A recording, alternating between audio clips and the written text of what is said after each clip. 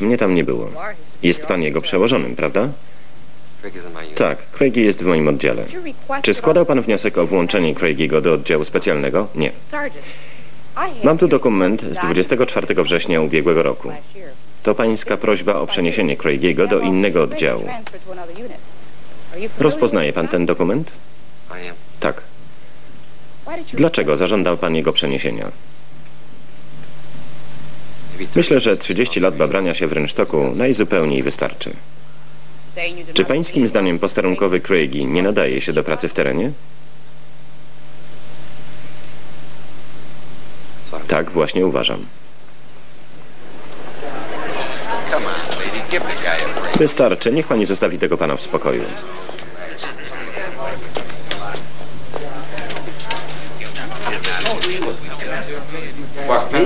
Ja? Pieprz się sam. Wywalił mnie z grupy specjalnej. Nie chce mnie tam.